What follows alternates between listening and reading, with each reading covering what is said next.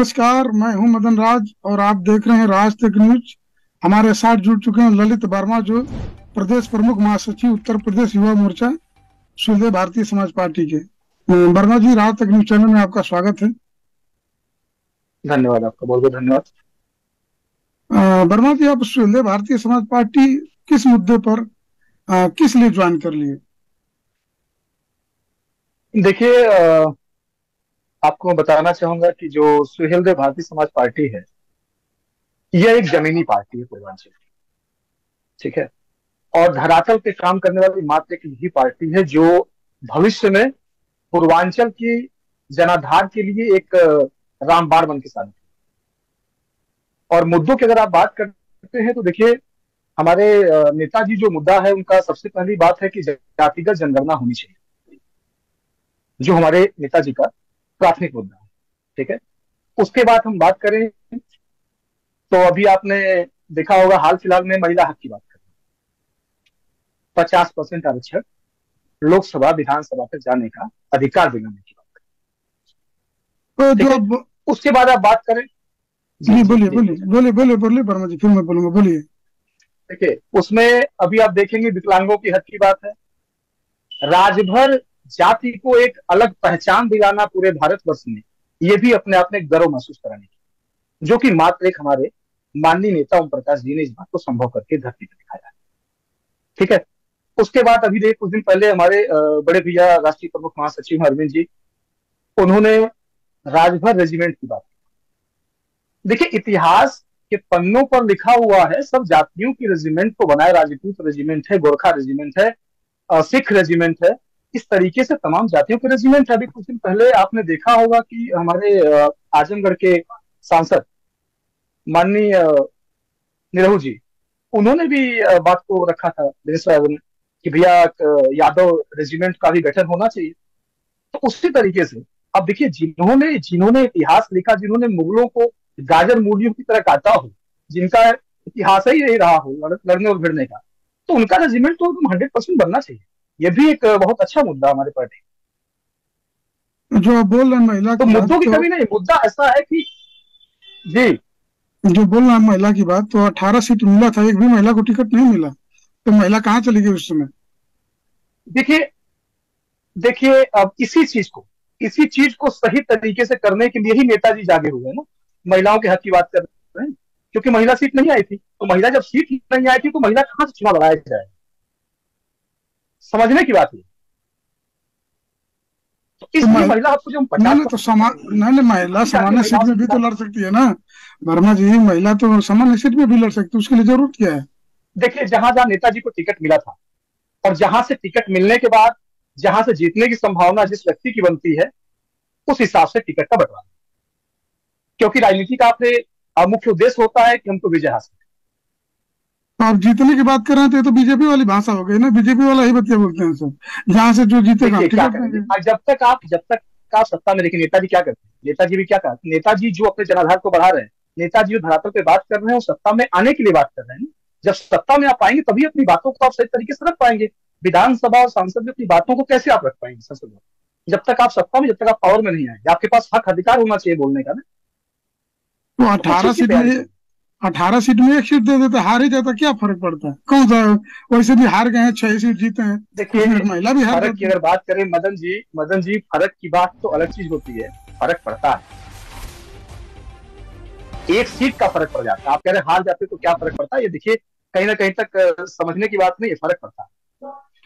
नहीं अब एक मान लीजिए कि अठारह में हार गए हैं सत्रह अठारह हार में छह जीते हैं तो उसी में एक और महिला हार जाती तो ये तो रहता ना कि नहीं नहीं महिला आई थी महिला को टिकट दिए थे बस रैली में कहना कि नहीं महिला का हक अधिकार की बात है। ये ये ये पार्टी की बैठक होती है और बड़े समझदारी का काम होता है। एक अनुभवी लोग बैठकर इसमें बात करते हैं।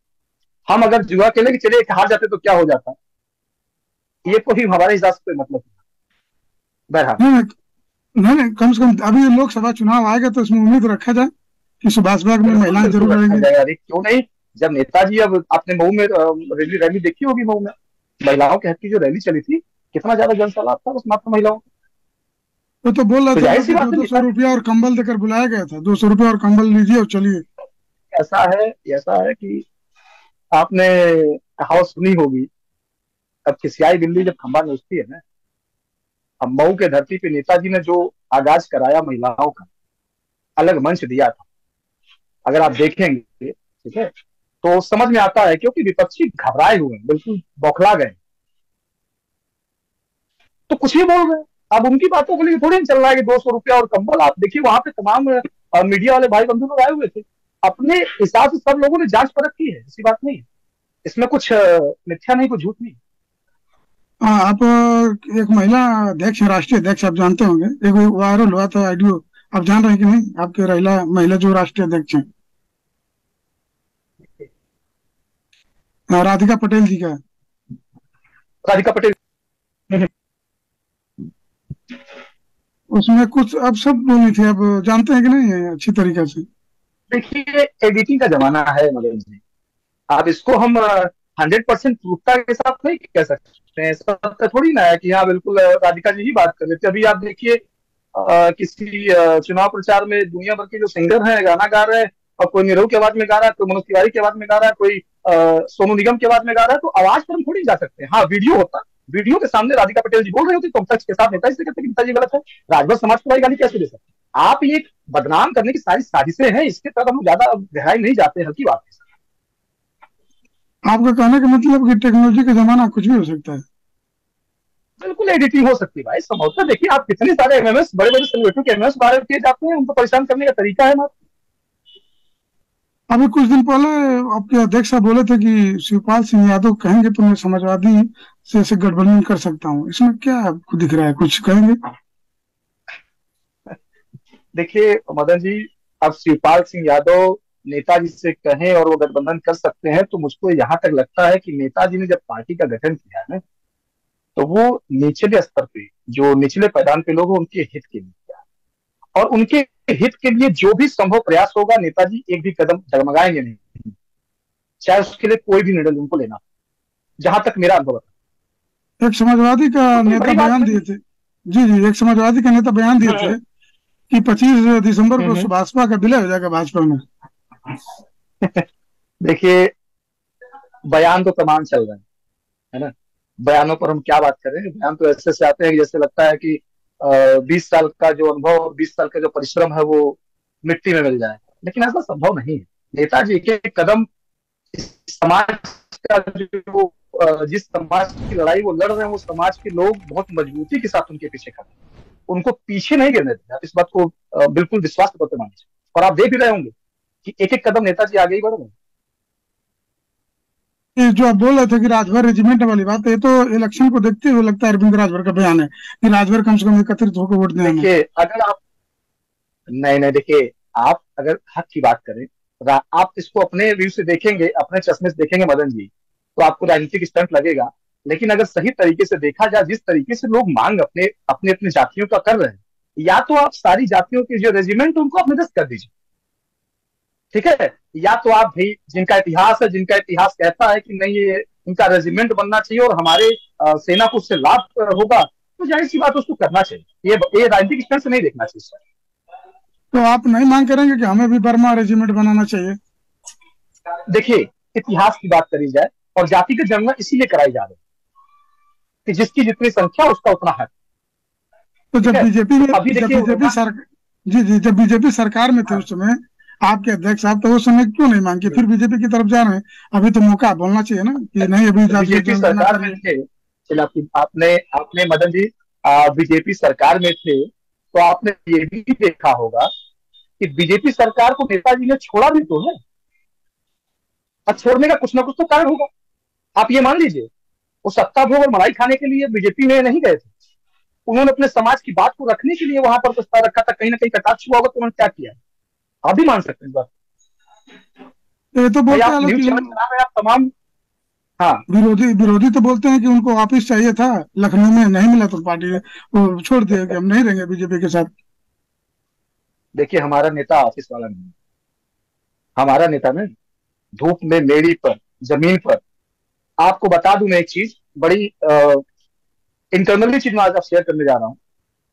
आप किसी भी पूरे उत्तर प्रदेश में किसी भी विधानसभा को उठा के देख लीजिए। किसी भी व्यक्ति के साथ अगर कुछ गलत होता है, वहाँ का लोकल विधायक भले ना पहुँचे, लेकिन अगर भाजपा के किसी कार्यकर्ता के साथ, किसी पदाधिकारी के साथ अगर कुछ भी ऊंच नीच होता है तो बड़े सादगी के साथ हमारा ओम प्रकाश, राजभर जो जमीनी नेता जिसकी बात कर रहा हूँ, छह फुट की हाइट और पीले गमछे के साथ, वो व्यक्ति वहाँ पे खड़ा होने काम कुछ विरोधी सोशल मीडिया पर लिखते हैं कि वो भी राजभर बड़े जात वालों के घर पे जाके केक तो ज़रूर काटते हैं लेकिन किसी गरीब के घर नहीं जाते हैं। इसमें सच्चाई क्या है? आप बात कर दिए मैं एक गरीब हूँ सुनिए मेरे घर पे नेताजी चाय पीने अभी बीस दिन पहले की बात। इससे इसके बाद सुनिए इसके बाद एक हमारे बगल में ही मुबारकपुर विधानसभा में एक कार्यकर्ता विधानसभा अध्यक्ष किसी मामले में बंद हो गए थे जेल में। उनसे मिलने गए। कोई किसी का एक्सीडेंट हो जाता है जौहराबाद में उनसे मिलने जाते हैं। किसी के दादाजी मर जाते हैं किसी के दादी जी मर जाती हैं उनके यहाँ वो अंगना में जाते हैं। आप कैसी लोग अब ये अफवाहें तो हैं। आप उनसे कहिए जो लोग इस तरीके की अफवाहें फैला रहे हैं उनसे कहिए ज़मीन पर आकर धरातल पर देखिए ज़मीन पर बात करें। हवा हवाई से नहीं होता है। और हवा हवाई पचासी दिन की पार्टियाँ जो हवा हवाई विरोधी लोग जिस तरीके से बात कर रहे हैं ना ये बेबुनियादी बात है इसका कोई बुनियादी नहीं।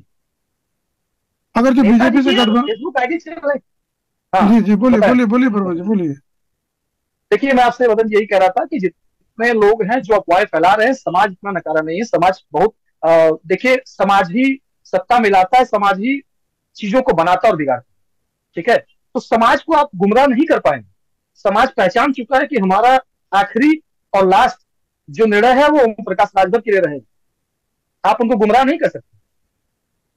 कुछ लोग तो ये भी बोलते हैं कि वो भी राजभर तो कहीं कहीं गरीबों के घर जाते हैं, लेकिन एक रुपया का योगदान देते नहीं बस गए, पानी पिए, चल दिए। आप तो नेता आपको पता है सब। बिल्कुल सही आपने बोला है और मैं आपको जो बात कह रहा हूँ देखिए एकदम बिल्कुल सीधी सीधी बात करता हूँ मैं। मेरा एक अलग ही पहचान है। मैं एक बार छत्तरपुर प्रोग्राम हो रहा था यहाँ पे जिस समय सावधान यात्रा चल रही थी। देखिए आँखों देखी बात बता रहा हूँ मैं सुनी बातों पर विश्वास नहीं करता मैं नेताजी के साथ मंच के पिछली चेयर पर बैठा हुआ था। एक फ़ोटो आया नेताजी के हाथ में उतनी भीड़ में से। कोई महिला आती है एक फ़ोटो लेकर के और वो फ़ोटो हमारी राजमती निषाद जी। देखिए महिला मंच की है। आप उनसे भी कभी अगर ना हो सके तो पूछ लीजिएगा। वो राजमती निषाद के द्वारा वो फ़ोटो नेताजी के हाथ में जाता है, वो सहयोग मात्र के लिए, क्योंकि उनका कुछ ऑपरेशन वगैरह होना होता और मैं पीछे बैठा हूँ। और मेरे साथ कई और भी नेता करते ऐसी बात नहीं है। अब उस वक्त पे नेताजी ने अपने जेब में हाथ डाला और पाँच पाँच सौ की जो भी नोटे थे, मेरे सामने निकाल तो मैं कैसे इस बात को मान लू कि नेताजी सहयोग नहीं करते हैं? ये सब तो ये सब बदनाम करने की मिथ्याएँ हैं और ये लोग पढ़ के, रात में पढ़ते हैं और सुबह आकर के बोलते हैं। इनकी ये स्थिति। तो इनकी बातों पर हम लोग इतना गौर नहीं करते कभी अगर दो हज़ार चौबीस में बीजेपी से गठबंधन होगा तो सुभाषपा को फ़ायदा होगा। देखिए हम ये इतना जानते हैं कि नेताजी ने अपने जिस लड़ाई को लेकर यहाँ तक बीस साल में पहुँचे हैं उसी लड़ाई को आगे बढ़ाने के लिए जो भी वो निर्णय लेंगे वो सर्वोपरि है। चाहे वो भाजपा से गठबंधन हो चाहे कांग्रेस से गठबंधन हो चाहे बसपा से गठबंधन हो हम इस पर टिप्पणी नहीं करता और जब इतना जानते हैं क्योंकि वो नेता उनका अनुभव बीस साल का कहता है कि उस समाज के हित के लिए यहाँ तक अगर बहुत कुछ त्याग करके यहाँ तक पहुँचे तो आगे भी जो भी चीज़ों का निर्णय लेंगे, वो बिल्कुल सर्वोपरि होगा। और हम पूरे जितने भी हमारे पार्टी कार्यकर्ता और जितने पदाधिकारी बंधु हैं, सभी लोग उसको स्वीकार करें तो आने वाला समय में बीजेपी के साथ जाएँगे तो आप लोग को उम्मीद है कि समाज मानेगा कि नहीं, आप सही निर्णय लिए क्योंकि उसी बीजेपी से दूरी बनाए थे। देखिए दूरी बनाए थे तो किसने किसी चीज़ को लेकर बनाए? और आज नेताजी अगर दोबारा अगर गठबंधन की अगर बात करते और होता भी है तो अपनी शर्तों पर रखेंगे। वो तलवार चाटी और सत्ता भोगी नेता नहीं। आप भी इस बात को जानते हैं। बड़े स्पष्ट बता है। तो न्याय समिति की रिपोर्ट लागू हो जाएगी जैसे सत्ता में जाएँगे। बिल्कुल आप इस बात को मानिए कि प्रयास तो नेताजी का ही रहे। और अपने बातों पर अटल रहने वाले हैं ऐसी बात नहीं है। अपने समाज की लड़ाई को लेकर चलने वाले हैं। कुछ तो लोग ये भी बोल रहे हैं कि वो भी राजभर मंत्री बनेंगे और अरुण राजभर एमएलसी बनेंगे और अरविंद राजभर को लोकसभा चुनाव मिलेगा, बस काम खत्म। ऐसे, ये भी देखिए विपक्ष की बात कहूँगी। जहाँ तक मैं जानता हूँ, जब विपक्ष इतना कह रहा है किसी की मदद नहीं करते, विपक्ष ये कह रहा है कि अपने घर से बाहर नहीं निकलते, विपक्ष कहता है कि वो पता नहीं क्या क्या करते हैं। राधिका पटेल जी की ऑडियो वायरल किया जा रहा है सब एक षड्यंत्र है। और नेताजी का जो अनुभव वो चक्रव्यूह तोड़ने वाला अनुभव है। वो कभी इन पचास जुम्मा जुम्मा हफ़्ते वाले नेतागिरियों के चक्कर राजनीति के स्टंट में फंसने वाले नहीं है वो। आप इस बात पर विश्वास कीजिए। आखिरी में क्या कहना चाहेंगे ब्रह्मा जी? समाज के बारे में अपने कार्यकर्ताओं को क्या देखिए समाज में एक ही चीज़ का मैं संदेश देना चाहता हूँ कि अभी पूर्वांचल में एक जमीनी स्तर का अगर कोई लीडर है अब कोई न्यायमूर्ति है तो माननीय ओम प्रकाश राजभर जी हैं और सभी वर्ग के सभी समाज के लोग उनके हाथों को मज़बूत करने का काम करें। ताकि पूर्वांचल की आवाज़ सदन में पहुँचे और उस पर काम। ठीक है वर्मा जी आप राज तक न्यूज़ चैनल पर आए इसके लिए आपका बहुत बहुत धन्यवाद। धन्यवाद।